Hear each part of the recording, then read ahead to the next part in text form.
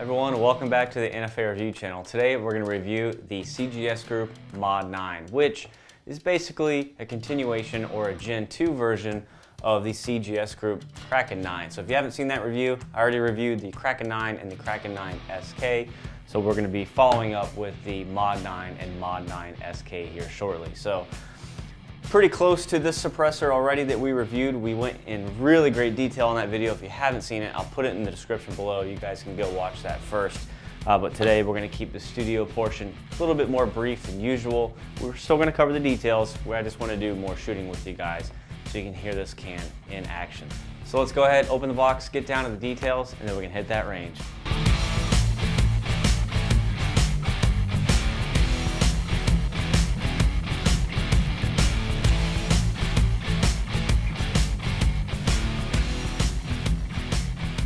Right, taking it out of the box. Uh, this is what shipped to me. I believe it's gonna come with a manual. It also comes with a takedown tool, but this is a, uh, nice O-ring engagement case. You can use it uh, to store cigars or something for travel if you want down the road. I usually keep my suppressors on the guns uh, instead of moving them around. And then of course, here is the takedown tool. So this is a standard CGS group takedown tool that you guys have already seen.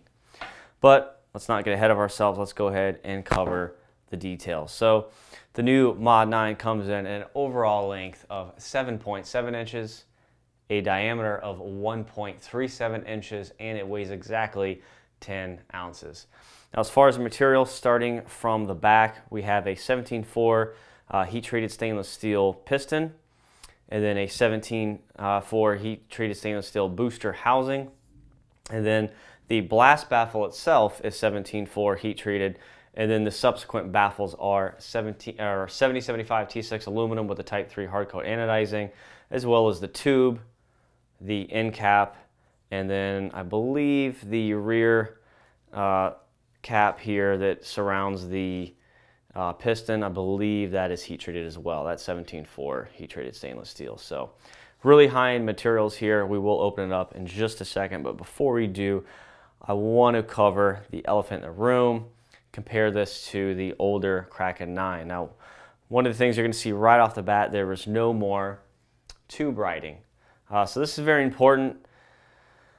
Now that it's cleared through the ATF, they can now put the model engraving and your serial number here on the 17.4 heat-treated blast or um, booster housing. So what that's going to do is protect your investment no longer do you have the writing on the tube. If you have a catastrophic failure, the further along down the tube you are, uh, the higher probability you are of having a baffle strike or a bullet exit out of the tube, uh, which is bad for your tax stamp. So nothing bad can pretty much happen here. As you know, once the barrel is threaded, uh, it's going to end about here. So the bullet's not going to deviate out of that piston. So that piston actually goes to the start of the tube. So again, catastrophic failure could happen here, but not here, protecting your tax stamp.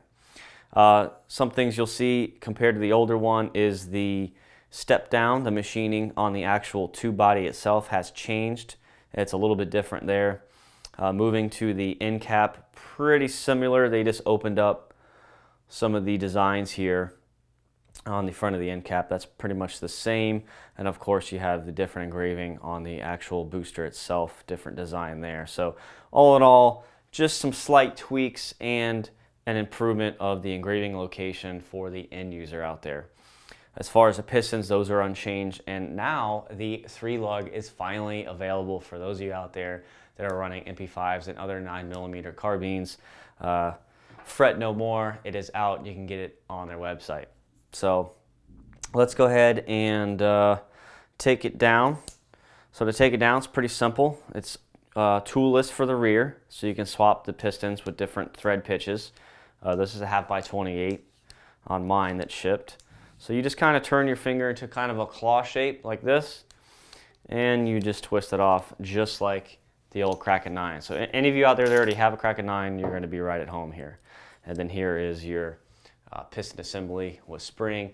If you guys are curious on how this works, I have a video labeled uh, everything you want to know about silencers. Go ahead and check that out and I cover everything in detail, including the history, operation, everything that has to do with firearm suppressors. So set that aside. turn it over here, use our takedown tool and it just interlocks with the holes in the front of the end cap. And once you get it loose, you can just go ahead and remove it the rest of the way by hand.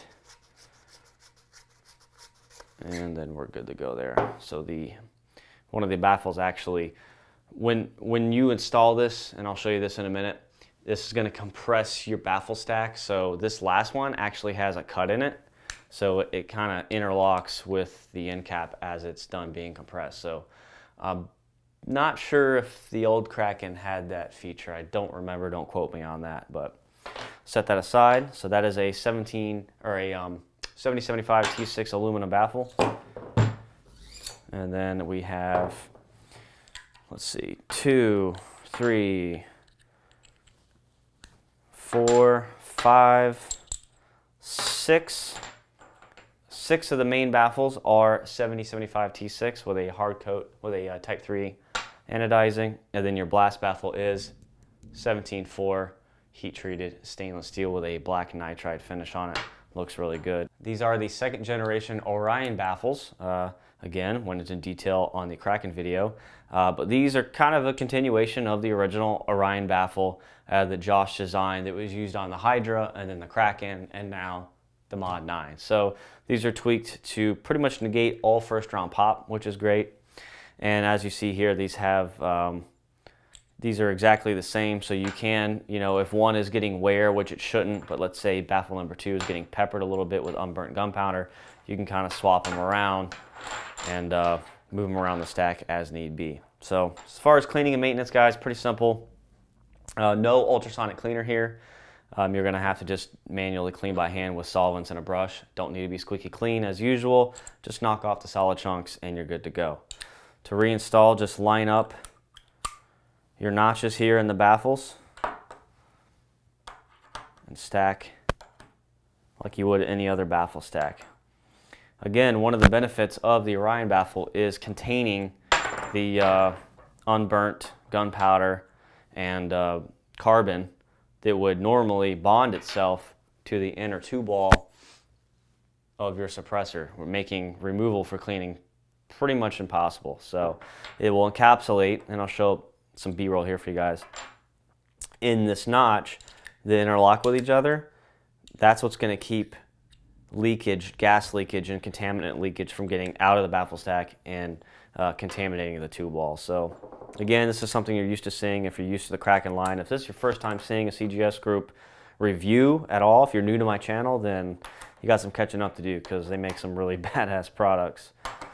So now that we have the stack all assembled, Obviously this is your blast baffle, so you're gonna turn the tube over upside down, slide it down, and then put on your end cap, and then this is where it's gonna compress and interlock so you don't have any issues uh, with baffle alignment when you shoot. So pretty, pretty straightforward guys. Um, again, same performance as a Kraken 9. So this is gonna range on a nine millimeter host, a nine millimeter pistol, from 116 decibels to 122 decibels depending on the ammo type. I know uh, uh, Glock 17 with the LAX 165 grain, formerly Hush ammo, uh, 116 decibels. Glock 17 with a suppressor with 165 grain ammo, 116 decibels. Believe the slide shutting on a Glock, on a Glock 17 is about 109 decibels, so not much louder than the action. Uh, when you're done there, you can either A, install your three lug system, or B, install your booster housing. Again, this is only to be used with a, a Browning type action. Okay, you don't want to ever use a booster assembly on a fixed barrel. So if you plan on using it on just a fixed 9mm carbine, uh, use a spacer instead of the spring, which you can get from CGS Group, or the three lug mount if you have that type of barrel. So not rocket science. Again, if you're new to suppressors and you're new to the lingo and you want to learn more, watch my video, everything you need to know about suppressors. All right, before we hit the range, just want to cover a couple more details so you guys get the full picture of the Mod 9. Now, much like the Kraken 9, which I'm removing right now from this STI, weapon is clear, safety on. Um, they, again, same general design as a Kraken. All your weight of the suppressor is towards the host firearm, okay? Since these are all 17 or uh, 7075 T6 aluminum baffles, and you have your stainless blast baffle here with your stainless uh, booster assembly here, all that 17.4 holds all the weight. So when you hold it in your hand, it balances more towards your hand, towards the shooter. So uh, something definitely to take note of. Also, again, like the Kraken, this has 12 points of uh, point of impact shift adjustment. So to adjust it, you would uh, pull forward to compress the spring and rotate like a clock, dropping it into the next notch. And you can continue to do that until you can fine tune uh, the suppressor for your ammo type and host type. Uh, again, I know it sounds like a broken record. If you have no idea what point of impact shift is or clocking a suppressor, watch my video, everything you need to know about silencers. So uh, it's gonna answer all your questions. All right, yeah, pretty much covers it for the studio guys. You're probably wondering how much this cost. Uh, for normal people, this would be uh, $875 retail. So 875 retail, the MSRP on CGS Group's website. But my gold members on Patreon, of course, have a pro deal with CGS Group at 50% off. So uh, that puts you in the $400 range for this suppressor. And I can tell you right now, it's worth every bit of $900 and you're about to find out right now. Let's go ahead, load up some host, load some ammo, and have an extended firing session out on the range.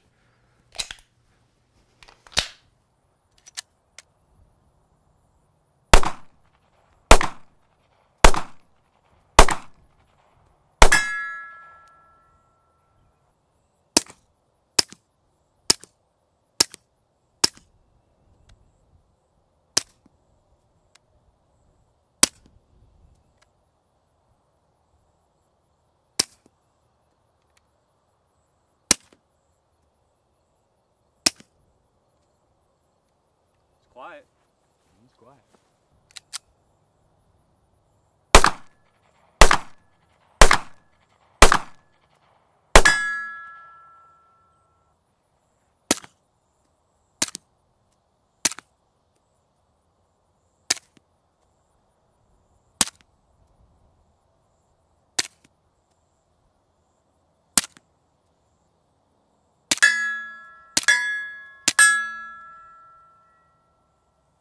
So fucking quiet. Man. so quiet, bro.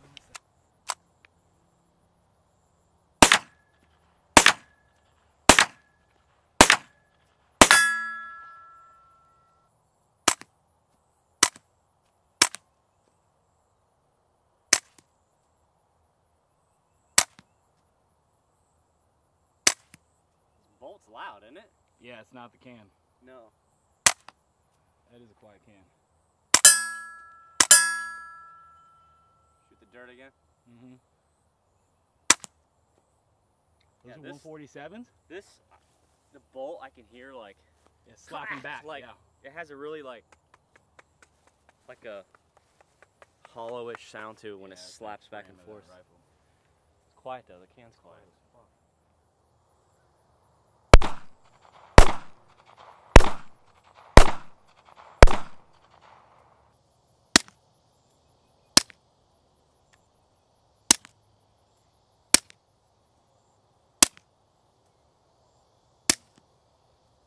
That sounded pretty cool. Yeah.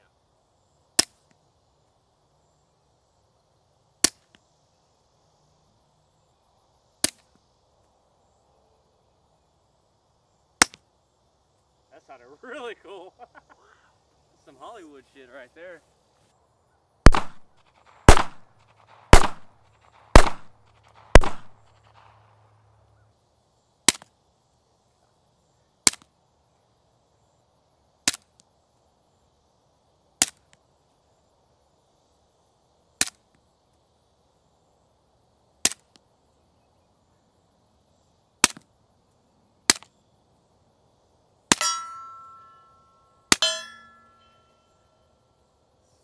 By far, the STI with the Mod 9 is as good as it gets. That's as good as it gets. Not 158. No, these are uh, the one the 147s, yeah. Dude.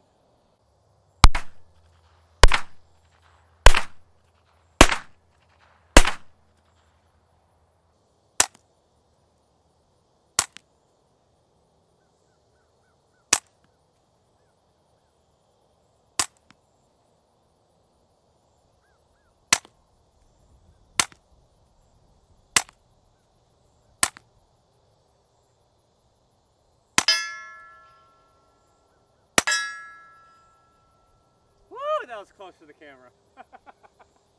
Damn. Dude, that thing is so quiet, bro. Where, so, So what am I doing?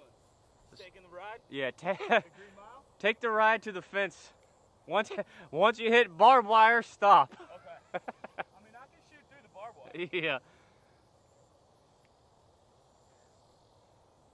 All right, so Kyle's making the walk. He has uh, 20 rounds in the STI of some Fiocchi 158 grain subsonic factory loaded stuff. And he's gonna walk to, it looks like 200 yards, just a little over 200 yards. He's gonna shoot at the berm to the left and right of the camera right here. So I have the microphone set up. Uh, you should be able to hear the flight of the bullet flying to the left and the right of the microphone. I'm gonna have him shooting pretty close to the camera without hitting it. Um, yeah, I'm gonna go hide behind my truck, which is right there. I'm gonna hide behind that after I get focused here so we get a nice sharp clear image of Kyle. So let's go ahead and do that now. see what we got. That should be close enough. He's out there filming with his phone. How come I always got to walk the 300 yards to take the shots? And he gets to hang back under the shade in the truck. All right, so we are about 200 and some change yards. Sorry. There's Adam. Insert arrow now. Ding. Let me back out. And we're going to be doing the uh, 2011 STI Hush Edition with the CGS Group Mod 9. And we're running uh, Fiocchi 158s. And uh, we're gonna see what it sounds like at 200 and some change. Now you're good, stay there! Stay right there! He's hiding by the truck.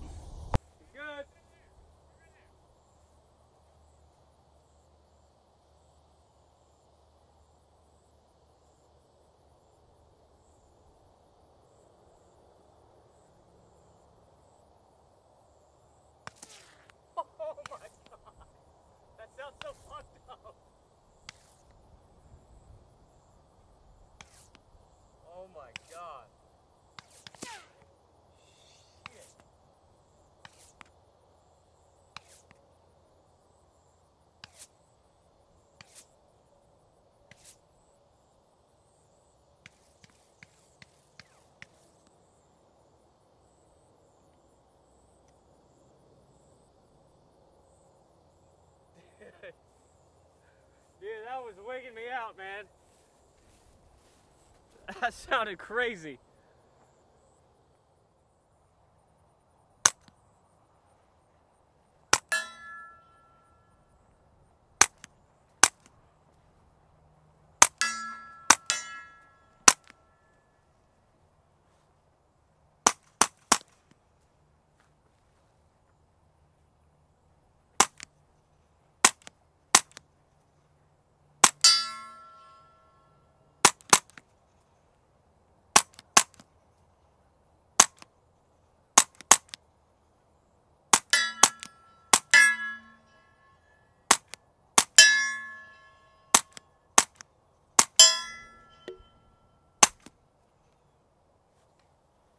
You like? Bro, it's just it's just the slap of the rifle, dude. This thing is so stupid quiet. It's not even funny.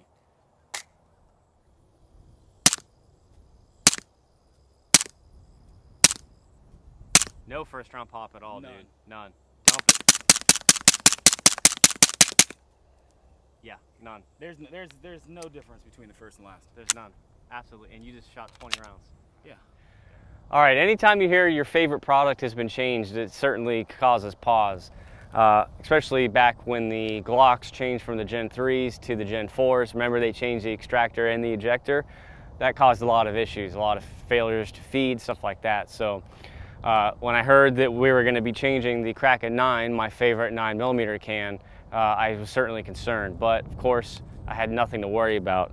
Uh, the Mod 9 by far is the best sounding 9mm can I have ever heard.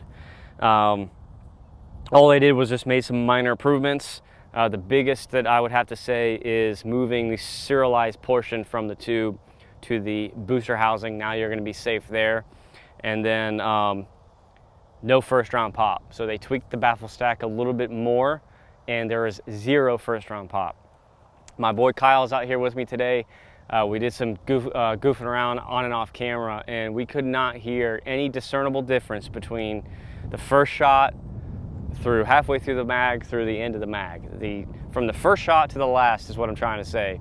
Sounds exactly the same, and that is a lot of performance. And we tried all different types of ammo on and off camera, from 115 to 124 to 147 to 158. It sounds amazing. Even when you have the sonic crack of 115, the gun itself is not making any sound. All you're hearing is pretty much that. I mean, it's that quiet. So kudos to CGS Group for that.